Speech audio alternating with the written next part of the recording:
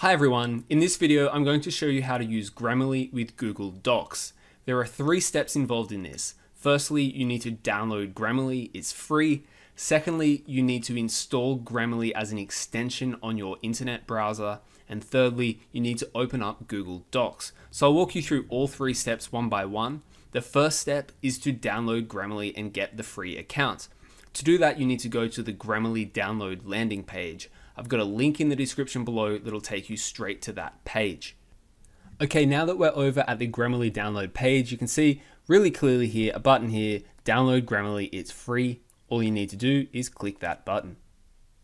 You'll see a download has started and it's just finished downloading really quickly there for me. Grammarly installer exe, and you just need to click that. Okay, and that brings us to this prompt that asks us to sign up or sign in to an existing account. If you have an existing account, you can click sign in. I'm assuming most of you will want to be signing up for free right now, so click sign up for free. There are a couple of ways in which you can sign up. You can sign up with Google, Facebook, Apple, or you can just enter your email address. I'm going to enter my email address here. Okay, so here I've entered my email address, my password, and my name, and I'm going to click agree and sign up. Okay, then you'll get this prompt here asking you to open Grammarly. I'll suggest that you do open Grammarly right now. Once you've opened Grammarly, they're going to give you a couple of prompts to get you started. Here it asks you to continue to free or upgrade to premium, you could do both. Uh, I'm going to continue for free for right now. And then start using Grammarly. You can take the quick tour if you would like it's just a couple of it's just really quick. You just click next, next, next. It doesn't really tell you all that much.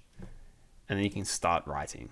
Now it's giving you a couple of examples here on how to what you can sort of do with Grammarly, but at the moment what we really want to focus on is now that you've got an account is getting it on your web browser, which is the next step. So to get Grammarly in your web browser, which is necessary in order for it to work on Google Docs, you'll need to search for Grammarly and then the name of your web browser. So if you're using Chrome, you would write Chrome, or if you're using Firefox, write Firefox, and so on. And then extension. So for me, it's going to be Grammarly Chrome extension.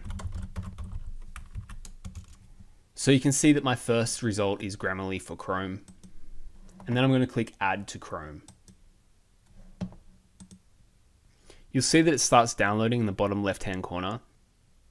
And then instantly Grammarly for Chrome has been added to Chrome. So you're good to go now. You've got it all added and running on your browser. And the next thing that you're going to need to do is open Google Docs. So to open Google Docs, you can just type in Google Docs in Google and then click Google Docs.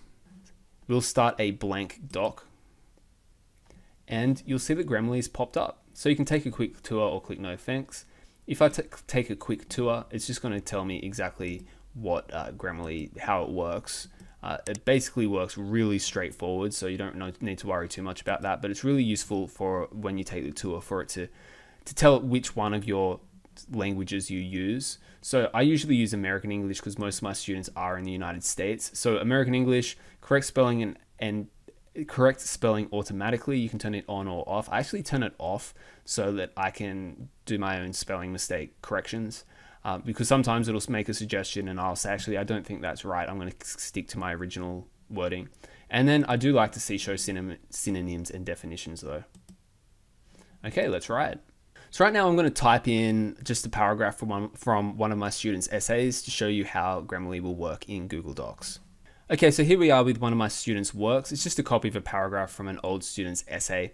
And you can see automatically that there's these underlines of things that Grammarly is suggesting you change. So if I hover over that and I can just click remove the space, for example.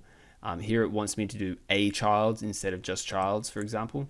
So I can just go through that and quickly think, do I agree with Grammarly's suggestion? If I do, I can just click to accept. Another thing you can do is on the right hand corner where it's got this red circle, or now it's just turned into a yellow circle with a number nine in it.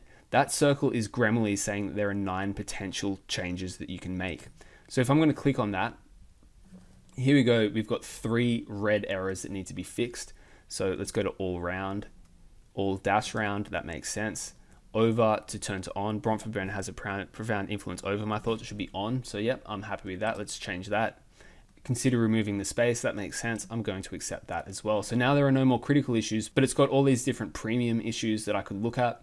So I could fix some word choicing, some punctuation errors, some passive voice errors. So there's some really wordy sentences is another really good one that Grammarly Premium gives you suggestions about. I generally do suggest Grammarly Premium for my students, but I know that some people can't afford it. So Grammarly Free is fine for those people. It's not that big a deal. Um, Grammarly Premium will just give you a couple of more advanced helpful tips on improving your writing.